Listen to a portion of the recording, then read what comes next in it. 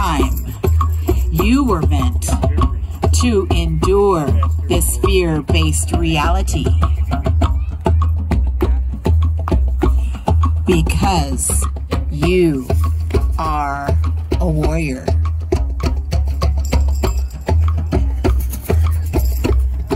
The fact that you can get out of bed every day and face a world, a reality that is constantly trying to break you. That's courageous. You are a warrior in your own right. Do not be discouraged. Never give up.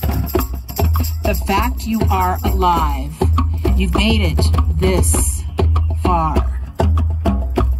It proves just how brave you are.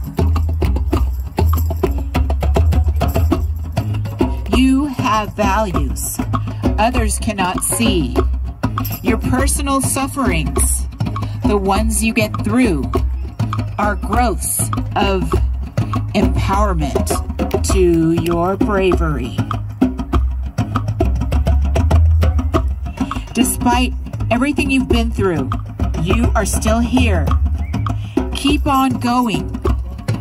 Even if the world were against you, you have the power to get up and face it every day.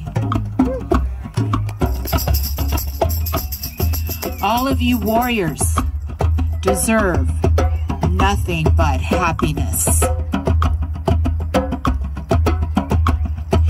There will be hard times or sad times, but never forget all storms end. And when they do, fly